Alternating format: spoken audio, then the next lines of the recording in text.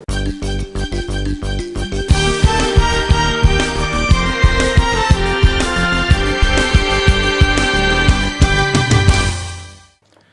်္ဂလာပါခင်ဗျာ 2010ရွေးကောက်ပွဲနေ့စဉ်သတင်းအစီအစဉ်ကကြိုဆိုပါရစေဒီကနေ့သတင်းတွေမှာဆိုရင်တော့မဲဆန္ဒနယ်တွေအလိုက်လွှတ်တော်ကိုယ်စားလှယ်လောင်းအမည်စီရင်တွေကိုမကြခင်မှာသိရှိနိုင်တော့မယ်လို့ရွေးကောက်ပွဲကျင်းပရေးကော်မရှင်ကပြောကြားလိုက်တဲ့သတင်းနဲ့အတူနိုင်ငံရေးပါတီအချို့လွှတ်တော်ကိုယ်စားလှယ်လောင်းအချိန်မီမတင်ပြနိုင်တဲ့အတွက်ပါတီရက်တီရေးမဖြစ်နိုင်တော့တဲ့သတင်းတွေကိုစူးစီးတင်ပြပေးသွားမှာဖြစ်ပါတယ်ခင်ဗျာ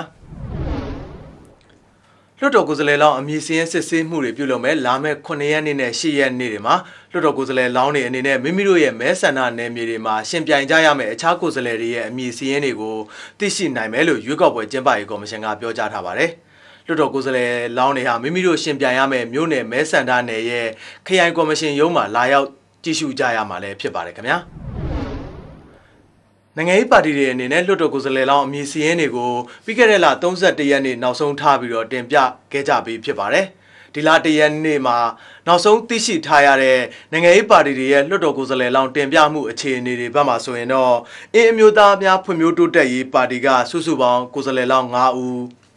ဝန်တာနု NLD ကကိုယ်စားလှယ်ပေါင်း4ဦးကရင်ပြည်သူ့ပါတီကကိုယ်စားလှယ်ပေါင်း43ဦးပြည်ထောင်စုဒီမိုကရေစီပါတီကကိုယ်စားလှယ်လောင်း3ဦး ခေတ်သစ်ပြည်သူ့ပါတီကကိုယ်စားလှယ်လောင်း30ဦးစီလုံးညီညွတ်ရေးနဲ့ဒီမိုကရက်တစ်ပါတီကချင်ပြည်နယ်က9ဦးဒီမိုကရက်တစ်ပါတီမြန်မာကကိုယ်စားလှယ်လောင်း90ဦးရှမ်းတိုင်းသားများတိုးတက်ရေးပါတီက158ဦးမတူကွဲပြားခြင်းနဲ့ငြိမ်းချမ်းရေးပါတီကကိုယ်စားလှယ်လောင်း9ဦးရခိုင်တိုင်းသားများတိုးတက်ရေးပါတီကကိုယ်စားလှယ်လောင်း44ဦးမွန်ဒေတာလုံးဆိုင်ရာဒီမိုကရေစီပါတီကကိုယ်စားလှယ်လောင်း35ဦး ဒီမိုကရေစီနဲ့ငြိမ်းချမ်းရေးပါတီကကိုယ်စားလှယ်လောင်း9ဦးအမျိုးသားဖွံ့ဖြိုးတိုးတက်ရေးဒီမိုကရက်တစ်ပါတီကကိုယ်စားလှယ်လောင်း25ဦးအမျိုးသားဒီမိုကရေစီအင်အားစု NDF ပါတီကကိုယ်စားလှယ်လောင်း162ဦး88မျိုးဆက်ចောင်းသားလူငယ်များပြည်ထောင်စုမြန်မာနိုင်ငံပါတီကကိုယ်စားလှယ်လောင်း34ဦးပြည်ထောင်စုမြန်မာနိုင်ငံအမျိုးသားနိုင်ငံရေးအဖွဲ့ချုပ်ကလွှတ်တော်ကိုယ်စားလှယ်ပေါင်း52ဦး ကမန်မျိုးသားတိုးတက်ရေးပါတီကကိုယ်စားလှယ်လောင်း6ဦးချင်းတိုးတက်ရေးပါတီကကိုယ်စားလှယ်လောင်း40ဦးနဲ့မြန်မာဒီမိုကရေစီကွန်ဂရက်ပါတီကတော့ကိုယ်စားလှယ်လောင်း2ဦးပဲတင်ပြထားနိုင်ပါတယ်ခင်ဗျာဒီစီးရင်တွေထဲမှာတော့ပြည်ခိုင်ဖြိုးပါတီရဲ့လွှတ်တော်ကိုယ်စားလှယ်လောင်းတွေရဲ့စရင်အတိအကျမသိရှိရသေးပေမဲ့မဲဆန္ဒ နဲ့အားလုံးနှိပါမှာတင်သွင်းထားပြီးအဲတချို့ကိုယ်စားလှယ်လောင်းနေဆိုရင်မဲ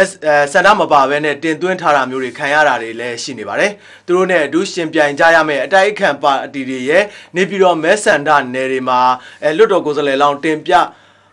ထားနိုင်မှုအခြေအနေတွေကိုလည်းမတွေးရှိရသေးပါဘူးခင်ဗျာ။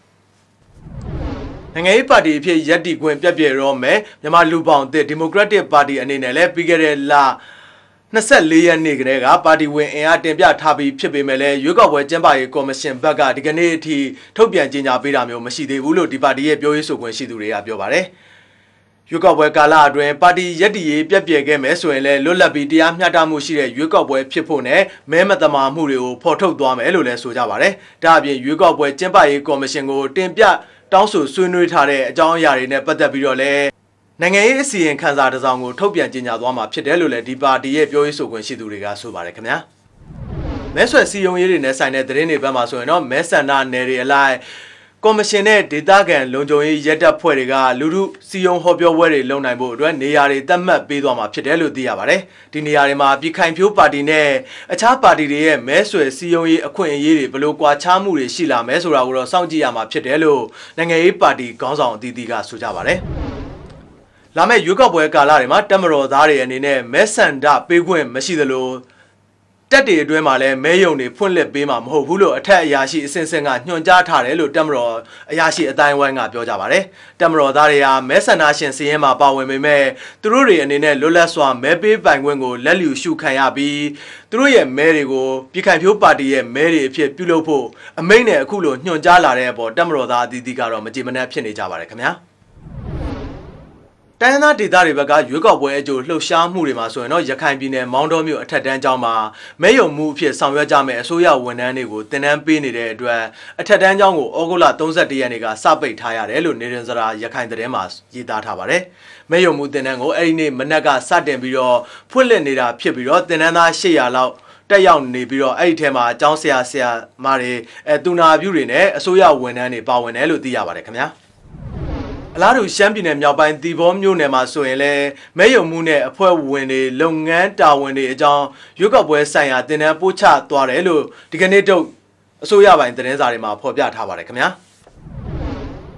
ရွေးကောက်ပွဲဆိုင်ရာအခြားသတင်းတွေဘက်မှာဆိုရင်တော့ပြည်တွင်းရွေးကောက်ပွဲများလေးလာရေးအတွက်လက်ဆွဲစာအုပ်ကိုမြန်မာဘာသာ e-book အနေနဲ့ဒီရက်ပိုင်းမှာပဲထုတ်ဝေလိုက်ပါတယ်။ပိုလန်နိုင်ငံအခြေစိုက် OSCE လို့ခေါ်တဲ့ဥရောပလုံခြုံရေးနဲ့ပူးပေါင်းဆောင်ရွက်ရေးအဖွဲ့အစည်းလက်အောက်မှာရှိတဲ့ ဒီမိုကရေစီအဖွဲ့အစည်းများနဲ့လူ့အခွင့်အရေးဆိုင်ရာရုံးကနေပြီးတော့ထုတ်ဝေလိုက်တာဖြစ်ပြီးတော့ဘာမာဖန်ကဘာသာပြန်ထုတ်ဝေထားတာလည်းဖြစ်ပါတယ်ခင်ဗျာ။